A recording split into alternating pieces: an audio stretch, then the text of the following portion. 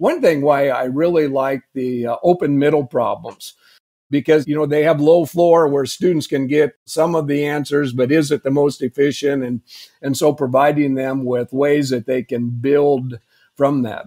I think teachers need to see the support that's provided. And i would just go back again and say like you did that the more of these support material that the teachers have, and even just getting. We speak with Lenny VerMaas from Lincoln, Nebraska. Lenny has spent 28 years as a middle school and high school classroom teacher, followed by an additional 16 years working to support math educators.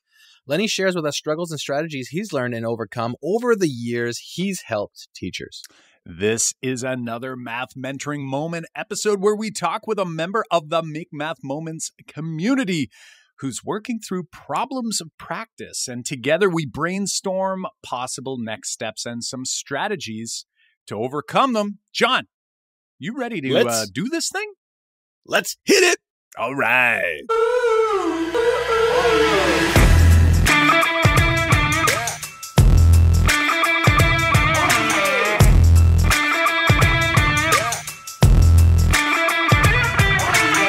Welcome to the Making Math Moments That Matter podcast. I'm Kyle Pearce. And I'm Jon Orr. We are from MakeMathMoments.com, who together, with you, the community of math moment makers worldwide who want to build and deliver problem based math lessons that spark curiosity, fuel sense making, and ignite your teacher moves. Welcome, my friends, to another Math Mentoring Moment episode uh, where we get to chat with a fellow math educator from the Make Math Moments community. You math moment makers out there are doing amazing things. It's always nice to get to connect with you. And today we get to chat with someone who's had more experience in education than both Jon and I combined. It's Lenny VerMaas. Yeah, and we've had the pleasure, actually, I've had the pleasure of meeting Lenny and sitting in one of his sessions at the Nebraska. What do you call what do you call that? That's the. Uh, I think it is, and it's Nebraska. Basically, it's the Nebraska State Conference a couple years ago, and we had a packed house. And Lenny is great to listen to, uh, funny and wise. He's got so many great insights for you coming up. You want to stick around, so let's get right to it. All right, here we go. Hey, hey there, Lenny. Thanks for joining us here on the Making Math Moments That Matter podcast. Uh, we're super excited to have you on. When we were checking out our Mentoring Moments mm-hmm. application mm-hmm. form and I saw your name in there, I have seen you on Twitter for quite some time. And I thought, it's about time we get Lenny up on this show here. So, Lenny, tell us a little bit about yourself. Where are you coming to us from? And can you give us a little bit of insight into your teaching backstory?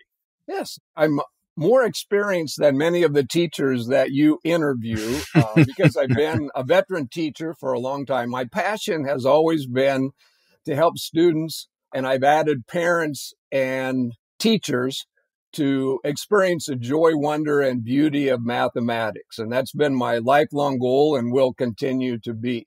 My first teaching job was at a school where I graduated from. Norris is a consolidated school district south of Lincoln, Nebraska. So it's several small towns that got together and have a consolidated school district. And for 28 years, I taught middle school and high school math there.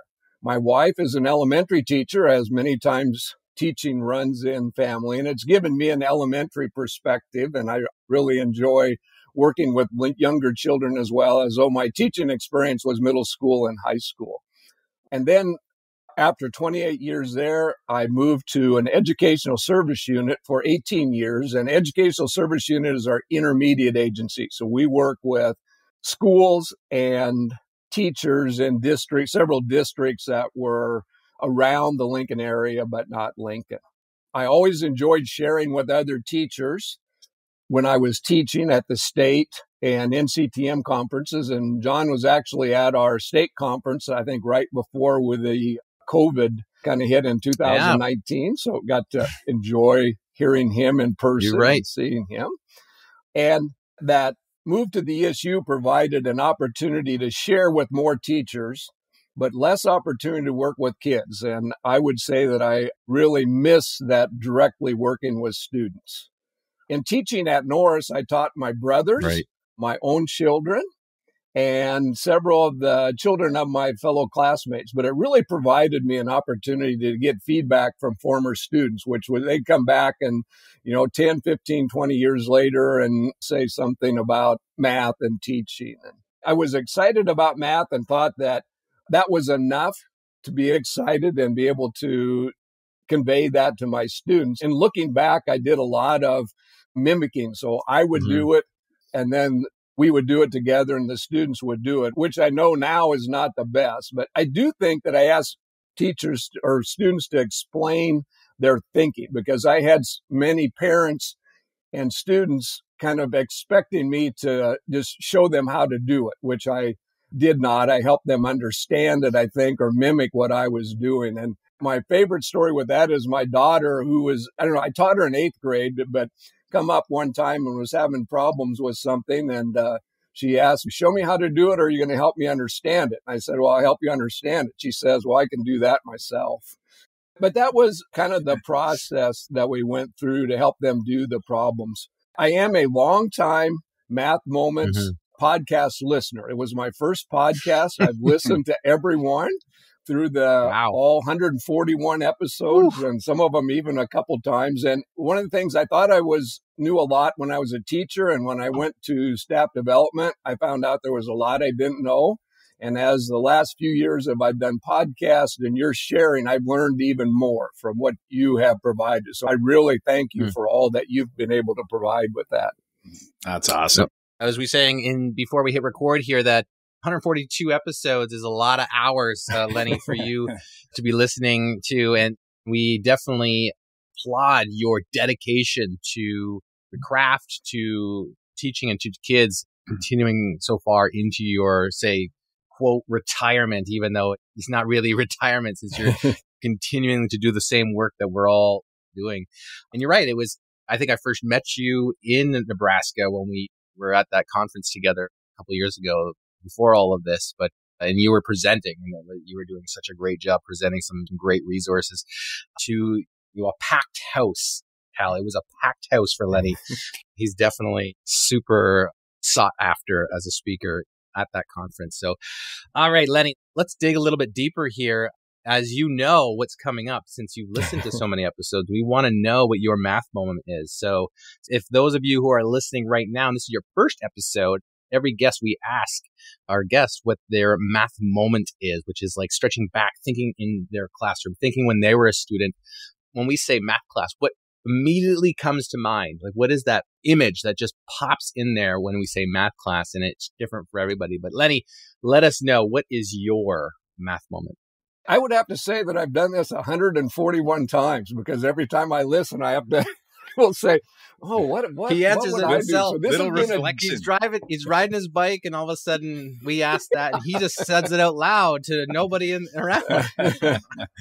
yeah, it's been fun to do, but as you can imagine, in teaching 28 years and a staff developer for 18, I never add those together. I've had lots of math moments, but I have two one from high school and another one from teaching. And you want to remember when I was in high school would have been the late 60s.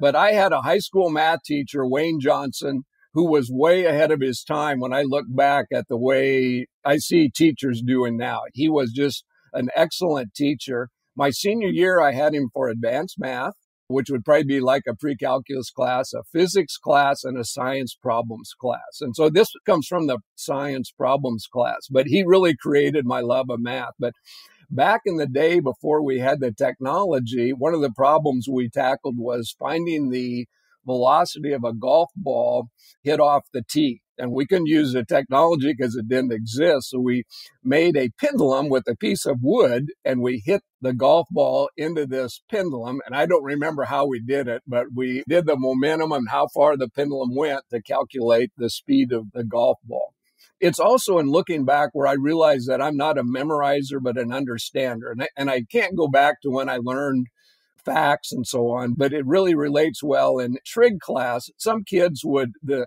say like the sine of 150 degrees and they would just know the answer. And when I got the sine of 150 degrees, I had to get a mental picture of where that angle was. I said, well, it's a 30, 60, 90 triangle.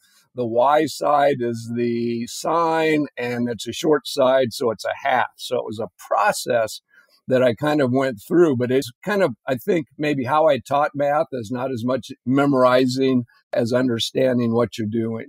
As a That's- teacher, my that's favorite awesome. math And- moments, and I have many, but I picked one. A lot of them deal with students where they collect information. And the one I'm going to share is a bouncing ball activity. The challenge was I had several balls, types of balls. So I had like a tennis ball, basketball, super ball, all different balls. And the problem or the goal was I was going to crawl up a ladder and drop the ball from a height about 10, 12 feet. And they had to predict how high the ball was going to bounce. And they did that by dropping it from various heights and recording how high it bounced. And we would do a, at that time, we just did a linear, just plotted it and kind of predict what would happen. But it was Mhm. amazingly accurate. So I would crawl up the ladder and I would take their ball up and I would drop it and they would stand beside the ladder and they would put their hand where they thought it was going to bounce.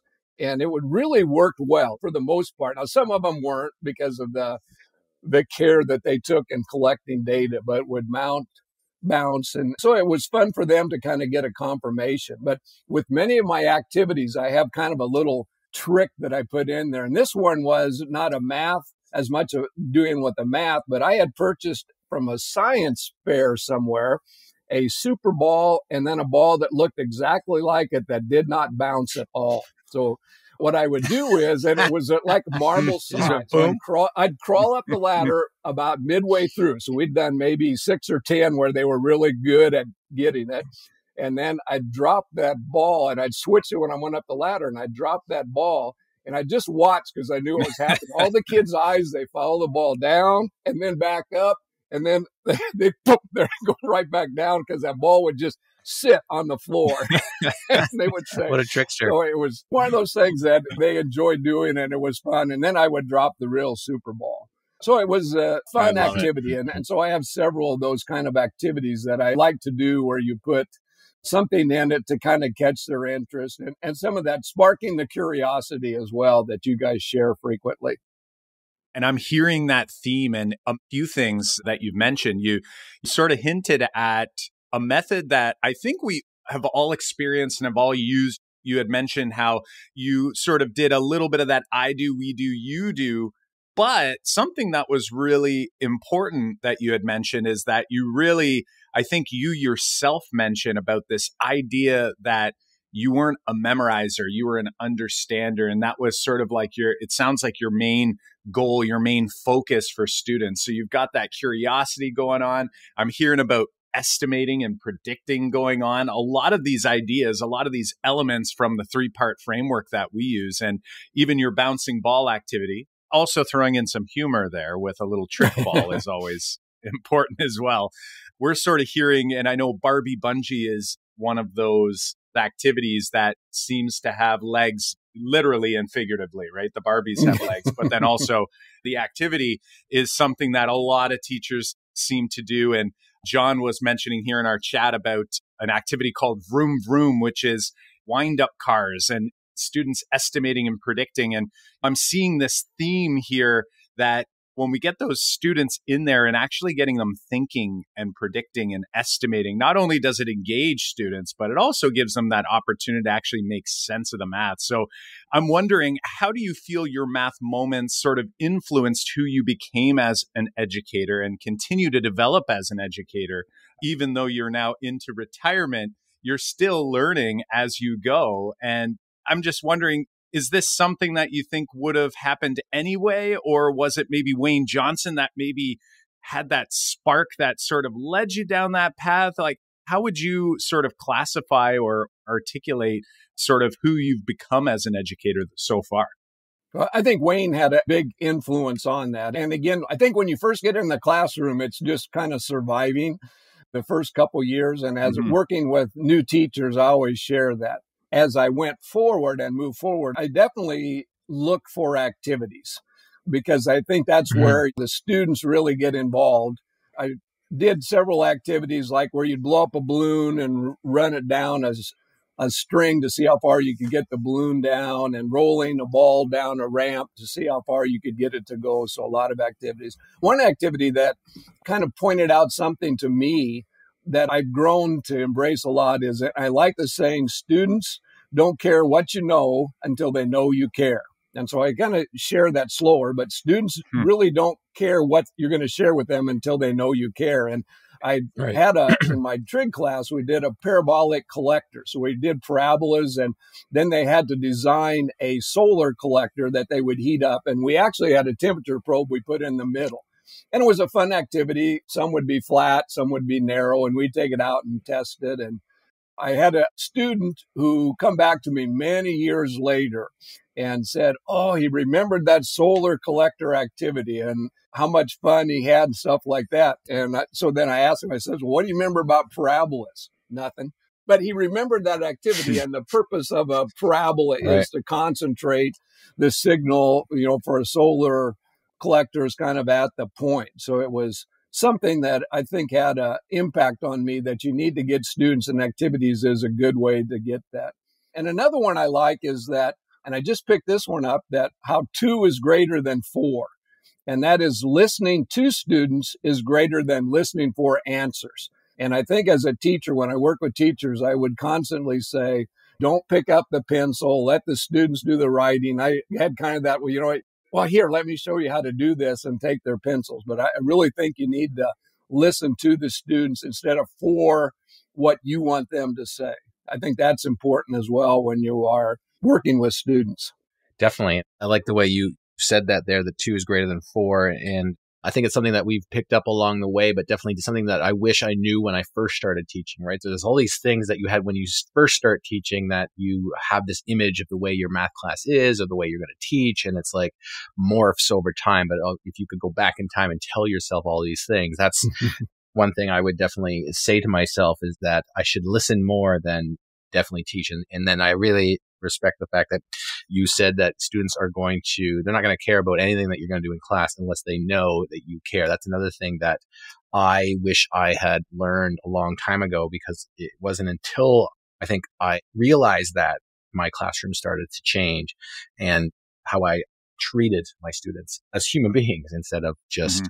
kids who are supposed to just get this math stuff that I'm supposed to and it's, shove down their it's throats. easy when you're early in your career, right? And Lenny, you mentioned this, right? Where you're just kind of holding on for dear life, yeah. right? trying to get through, trying to figure this out. And I think it's so easy to get wrapped up into the stuff and you're just worried about the content. You're worried about, am I teaching this correctly or accurately? Right. Like, you know, there's even concepts where maybe you haven't seen these concepts in a number of years and you have all these distractions and it's so easy to forget that there's 30 some odd students in front of you who are kind of watching you in your own world, trying to just like keep it together. When if we flip that around and we sort of go, you know what, the content, we're going to figure that out. We can't completely ignore it. But if I can just hone in on these people here in front of me and show them I care and create that culture, all these other pieces, I think will fall into piece or mm-hmm. into place so much easier than say if we just really focus in on that content. Because you look up eventually one day and you realize holy smokes i haven't made as much of an effort to connect with these students than i should have right? And that's obviously going to have an impact on the learning. It's so important that as you're teaching and gaining experience that many times I'd like to go back and apologize for what I didn't do. But I think you continue to learn. And a lot, I'm a big growth mindset person. And so, you know, Jo Boaler has, has really impacted a lot. And I think I did a lot of that before, but I have some more formal ways to kind of express that and how students are struggling and but that's important and i think that's the one thing that teachers and parents need to realize is that when you struggle, it's not bad. Matt Larson, who is actually was NCTM president, but was from mm-hmm. Lincoln, and so actually know mm-hmm. him. But he shared that parents don't like to hear the word fail. So I liked what he said was is expend energy to learn. So students need to expend energy to learn. And a lot of times with students and teachers, they'll say, well, you know, or students probably more, have you played a video game? And they'll say, yes, all of them have. And I said, well, did you ever get killed? And yes, they have. And I said, did you quit? No. That's what I want them to experience for math is that, that mentality of being able to keep going and, and the power of yet and being able to, I don't know how to do this mm-hmm. yet. I know with my grandkids, it's been so entrenched in them that whenever they say, well, I can't do this, I just give them that look and then they'll say yet. So there is a lot to be mm-hmm. said about that go. growth mindset and the persistence. I think teachers sure. a lot of times when they see students struggle, they like to jump in and help out. I think that our energy would be better expended to help the students and the teacher realize that that struggle is a big part of learning and that's what you really need to to be able to experience it to be mm-hmm. able to learn right question i was going to bring up lenny that at the beginning of this interview is that you had mentioned that you had first started teaching with the you know i do you do i do we do you do model and you had said I think I'm going to quote here is you're saying, what I know now is not the best. And I was going to bring this back and throw at you saying, like, why? But I think you've answered that by saying that the struggle is so important for students to learn on, right? Is that you don't get the struggle if you just show them what to do and then ask them to repeat it.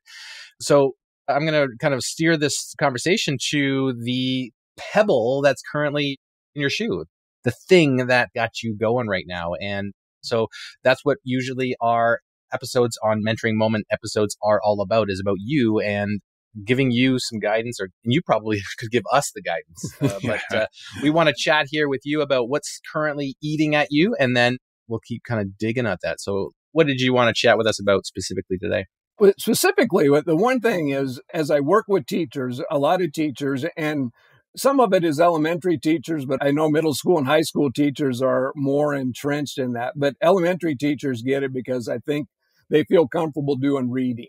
And reading is very much, and it's one mm-hmm. thing that mm-hmm. Anita Archer said is, I do, we do, you do. And I kind of cringed when I heard that because at that point I was really thinking that that's not the best way to learn math. And I think we need to realize that we learn math different. And so looking for ways to be able to kind of flip that upside down. And I know the one thing that you have kind of proposed and shared is more the you do and then we do and then I do, kind of doing it backwards. But I've kind of come on a couple ways hmm. to be able to, I think, format that a little bit better. So it's starting with the student doing the you do. So you give them a problem like any of your tasks, the three act task, and you kind of let them in and you, you create that curiosity and then that's what motivates them to get started. So it's a you do and then i do think you need to make sure that if it's not a low floor activity that they can't get started on that you give them some hints as you go through. And I know Sam Giovanni has shared that I think at some point you need to stop and ask some probing questions like, what did this group find out that might help some other ones get started? Or individually going around and kind of making sure that they're asking questions to get them going, but leaving it very much I do. And then the we do, one thing that you've talked a lot about is a five practices book. And I think that's so important when you do the you share. So I like you do, you share, and then I make the connection. So the students share their ideas. And I think it's good that it comes from the students because they can see that the students are doing it. And then you finish up with you make the connections between the things that are being shown. And so I think that that really helps to build those skills that they have. I want to jump in here and just talk about this kind of backwards model that kind of mimics what we chat about and maybe just thinking about like you've got a lot of experience working with teachers who have been using maybe this model and, and other models is i'm wondering for our listeners here like when you have helped teachers work through the hey you do first and then we have the consolidation and connect stage i'm wondering like what struggles from teachers do you see? Like what do you hear? Like what are some stumbling blocks for teachers who are like I've always wanted to do the five practices and or, or build into a thinking classroom. And I know it starts with kids doing problems first. What kind of big struggles do you see with the teachers? Like, what are like specific stumbling blocks that prevent teachers from kind of getting going? What are you hearing from the teachers you work with? I think one thing that, and you hear this many times, we always teach the way that we were taught. And so that's how they were taught. And I will share that I think it's more important to teach the way you wish you had been taught. And so I think it's important for them to experience hmm. an activity. And one of the stumbling blocks, I think, is finding that activity to begin with. And that's where you guys and many others have. I mean, there's a anybody that that can't go on the, you know, and find some resources.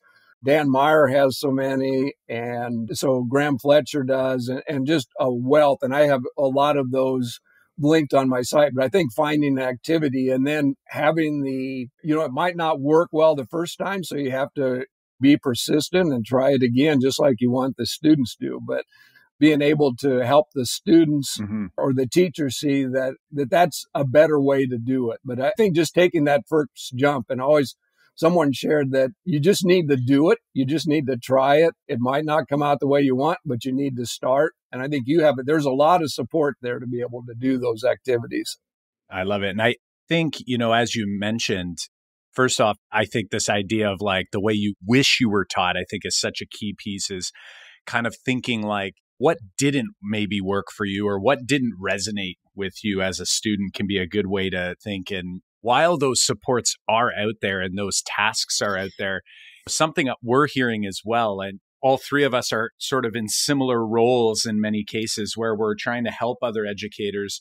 We also don't want to like force them either, right? We don't want to model what we're saying not to do, right? Where it's like, hey, just follow us and, you know, then we'll do this together and then you go do it on your own. We sort of want to empower them to do that work on their own. And that's definitely something that and I'm sure you've seen this, Lenny, in a lot of our most recent units that Jon and I have been producing is really trying to have those teacher supports there. So teachers get the big idea and the strategies, the models that we're trying to uncover in that lesson. Because I think, and I know this is me, I'm speaking from my own experience. When I started to shift my practice, we tend to flip all the way to the other side. It's like that pendulum swing of education. And as soon as a mm-hmm. teacher thinks of doing it differently, they think like they can't make it look or sound anything like what they were doing previously. That means I can't say anything to students when in reality, I think you've articulated it pretty clearly that we're not actually doing it a whole lot different. We're just sort of flipping the order of the way we're going to do things because at the end of the day, we've got to make sure that students walk away with that big idea, right? Like we don't want to just leave it to chance that students figured it out. Like when you did your bouncing ball activity, I'm sure at the end of the activity, you didn't sort of go, okay, that was great. And let's move along. now it's like, what did we learn here? Like, what are the big ideas here? Like, what can be said? Are there relationships here? Are there patterns that we're noticing?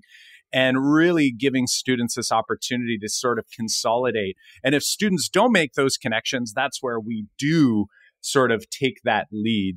We need to sort of step in and bring in that explicit instruction. So I think that's so key. But one thing that I know we're working on is really trying to provide resources that teachers can leverage even if they're not so sure how to do this style of lesson. We call it a problem based lesson.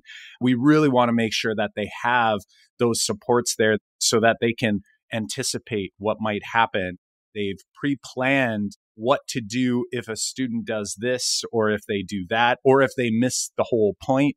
What are we going to do then? Because, of course, we don't want to sit there feeling like we have no next step. I'm wondering for you, when you're working with educators and you're trying to like help them shift I know those challenges, we've highlighted some of the challenges that educators have, but have you had any sort of methods or modes or models that have helped teachers make that first step? Because I think that's something for those who are coaches and consultants listening right now, or maybe a teacher who tends to take the lead in their school and wants to help other educators trying to figure out like how do i get started how do i encourage teachers to sort of get the courage to move forward can be really helpful. Has there been anything that's worked for you? Or maybe you might want to share something that hasn't worked. I know what doesn't work is me going in there and saying, hey, do it this way. That has never worked very well for me. What sort of bag of tricks do you have there, Lenny? one thing that I would share is that I think it's important for them to experience an activity. So I've actually done the ball activity with teachers so they get the idea. And I've done three act tasks with teachers. And so I think it's important that they get that. But I would agree with what you said that a lot of times I think when we flip it, we think that you give the kids a problem and then you let them struggle with it. And I think it's important that you provide them with that support as they're going through. And that's one thing why I really like the uh, open middle problems because you know they have low floor where students can get some of the answers but is it the most efficient? And and so providing them with ways that they can build from that. I think teachers need to see the support that's provided. And i would just go back again and say like you did that the more of these support material that the students have and or the teachers have and even just getting the ideas the ones that you have shared and the other activities like that so that the teachers will see well you know i think this is something that i could do and try and again i always applaud at the end you mm-hmm. always will say you know reflect back on what you did because a lot of times you might do an activity and it's going to be maybe another year before you do it again but take some time to reflect on what you learned what worked well what would i do different and then you can mm-hmm. kind of mold that as you're going moving ahead. I always find that to be one of the toughest things, especially as a classroom teacher, because you're constantly like, I ran this lesson, I ran this activity, we did all the things that I was thinking of doing. And then it's like, they all left the door. I got another class coming in and I got to do that again, or I got to do a different lesson with them. But then it's like at the end of the day, you're like, okay, well, now I got to get ready for tomorrow's lesson. So it's like scheduling time to reflect is tough. And it's like we can reflect on the fly, like, hey, I would do this differently next time. But then say writing it down or figuring out how to record that so that you remember that next time is definitely tough. And that was actually probably, I don't know about you, Kyle, that reflection is probably why I started to blog in the first place is after my daily lessons, I would pick something like one thing to write about and I just put it up on the blog website and that morphed into me thinking about my lessons more and more and more and more. Lenny, what would you recommend to teachers for that reflection? Because it is that tough thing when we have kids coming in, going out, multiple lessons a day what are some tips that you would share with teachers to say like this is how you could work in reflection into your practice one of the things I like about the five practices is that anticipation stage. And, and Kyle, I think you mentioned it, it where you anticipate the questions the students are going to ask and you actually write them down. And what am I going to say if a student is stuck here? So you're thinking about those ahead of time. I know at some point in my teaching, my lesson plans when I first started teaching were very detailed. And then as I started mm-hmm. teaching more, right. had been doing it more, you know, I would just kind of wing it. And I found that I was not asking the deeper questions. So I would kind of put some, well, right. I want to ask this right. question because it's going to be a deeper question. And so I would write this down and make sure that I use those with the students so that they would, it would cause them to think a little bit about what they're doing. But five practices, if you follow that, they really have you anticipate what's going to go and then pre-planning that, thinking about ahead of time. Now you're not going to get them all because especially the first time you do an activity, you're going to get students that oh, I never would have thought of that. But at least you've thought about it a little bit mm-hmm. ahead of time. And then I think taking some time at the end to kind of jot down some of those ideas and keep them. I really think it's interesting. I have a visual in my mind of, you know, super detailed lesson plans at the beginning, then sort of going to the wing it. I think everyone goes there, right? In their career, it's like, okay, I think I got this. But then you realize over time, you're like, maybe it's not as easy as that. And then you go back to more detail again. But it's almost like what it sounds like to me is like you eventually work towards more important detail. Because if right. I go back to my original lesson plans, they were super detailed, but there weren't very good details in there, if you know what I mean. So it was like I had step by step by step every right. single thing That's I was good. going to do, but I didn't have those great questions in there. You know, it wasn't like I ditched great questions. It was like I just realized that that wasn't helping so much. But over time, with that experience, with sort of seeing the difference when you are intentional, that word intentional comes up a lot for us now is being intentional about what we're after. We can skip some of the other details, but boy, oh boy, do I want to make sure that students get this, this, and this. I think that's so key. And I think it's great to have you on the show to sort of give people this wide lens of like how you continue to grow and you constantly grow and you never stop growing. So I want to thank you for coming on the show to share that with our audience. Lenny, I'm wondering, I've got a bunch of takeaways myself. Jon and I always say every time we do a podcast episode, it's awesome. This is like a form of reflection hmm. for us because we get to talk about sometimes repeating concepts or ideas and approach them from different lenses and get different perspectives. If a listener is on their bike ride, just like you, listening to this episode and you want them to have something, a key takeaway that they remember from this episode. So if they're ever scrolling through the website and they see, oh, yeah, there's that episode with Lenny. What are you hoping? Like, what's the big takeaway you'd like to leave with them here today? Well, thanks. The one thing I would say, and I think you said it a, a, little while ago, I think another component that we really haven't touched on that I hope to do more is with parents.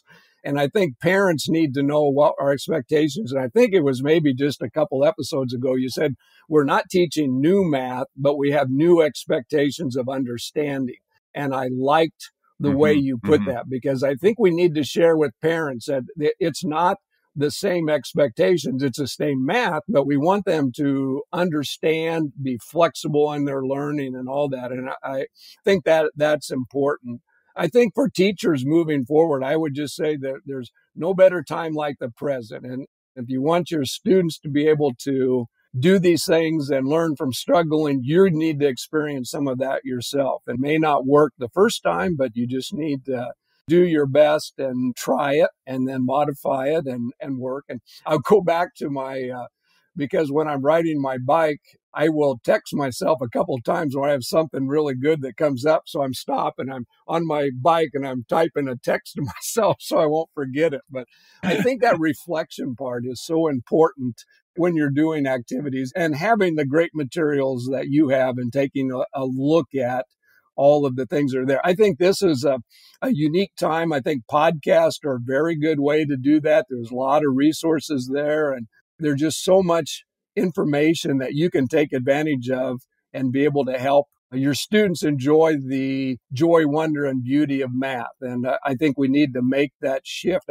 You also shared the video or the YouTube about the five ways to change math. And I think that is when parents hear math and kids even, they have this preconceived notion of, oh, I didn't ever learn that. So I'm very much known for when parents say, I never liked math, I just say, well, that's not, it's not hereditary. Jo Boaler says everyone can learn math. Unfortunately, maybe you didn't have a teacher like me to help you enjoy it, but you can find that joy there and don't tell your kids that that's what you think because it does pass down. There you have it. Lenny, where can our listeners learn more about you or get in touch with you? Give us a couple places that they can reach out. Oh, well, as you shared, I am very active on Twitter. So my Twitter is at Lenny VerMaas. I have a website which I'll share, and it's a Bitly. It's uh, just Bitly Lenny V.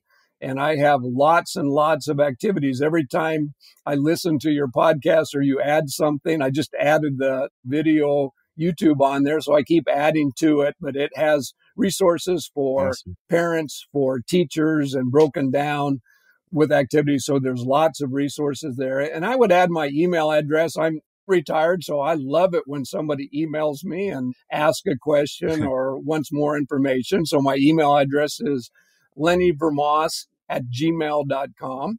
It's kind of an inside joke, but my last name is VerMaas. It's V E R M A A S. My father would share that when somebody doesn't email me and they say it's not working, I say, well, look at the end because they spell it A S S. He says, we might act like that sometimes, but that's not how we spell it. uh, so I, am I'm, I'm more than happy. I love it. And if they, I'm more than happy so, at any of those places to uh, be able to connect and share activities. I awesome. love it. And if they want a face to face connection with you. Just check out some of those back roads in Nebraska, just south of Lincoln, and they might find you biking. Yeah, so look for the guy who's pulled over, texting himself uh, a couple reflections, and you found your guy right there. So Lenny, it's been fantastic to have you on the show. It's awesome seeing how active you are in the Twitter community, as you had mentioned. We'll make sure to include those resources there. That bit.ly page is going to be full of awesomeness. I know it. Yeah, thank you so much for sharing some of your journey with Math Moment Maker community, some of the struggles that we all continue to struggle with, that gradual release of responsibility model that's a hard one to shake.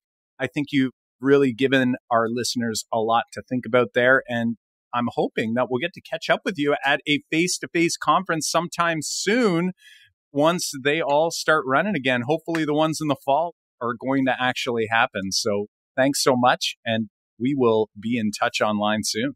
I'm looking forward to hearing my favorite part. You're closing here. So yeah. All right. Oh yeah, to... we forgot about that. We're going to do All this right. one live today. Lenny, right? Lenny really wanted us to do what for those of you listening, we usually record the ending separately, but Lenny really wants to hear the high five. So uh, we're going to do it right now. Yeah, here it is. Uh, well, Math Moment Makers, that's it for now. I'm Kyle Pearce. And I'm Jon Orr. High and fives for us. And high five for you. there it is. Was, Thanks, Jon. Was, there, Lenny. Have a great one. okay. Take care, Lenny. Thank you very much.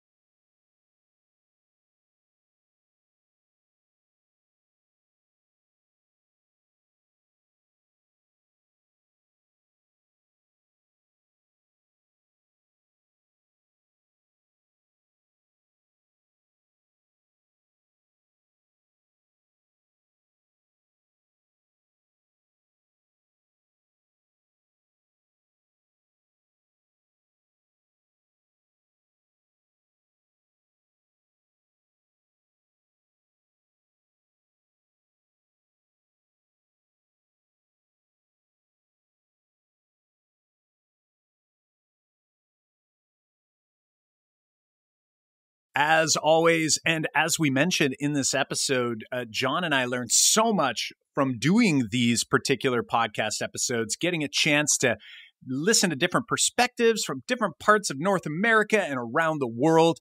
And today was no different how are you going to do some of that reflecting that Lenny recommends that all teachers do? Are you on the bike like Lenny? Are, are you going to pull over right now and send a text message to yourself?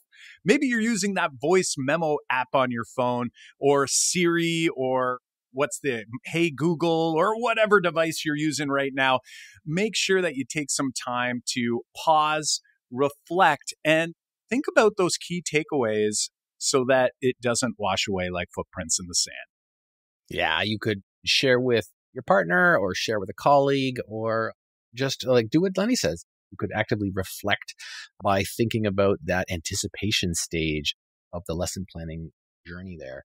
So that's what we want to do. Or you could, hey, head on over to our free private Facebook group, Math Makers K through 12, and share over there or any social media at Make Math Moments our Twitter and Instagram handle.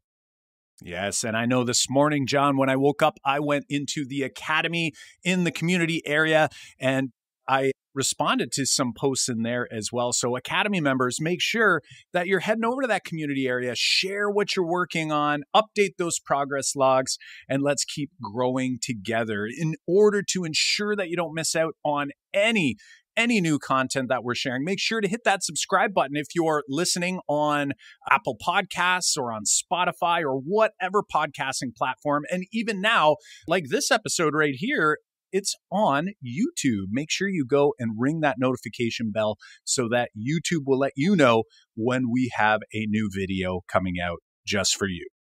As always, show notes and links to any resources we mentioned here in this episode, plus complete transcripts you can read from the web, are found over at makemathmoments.com forward slash episode 159.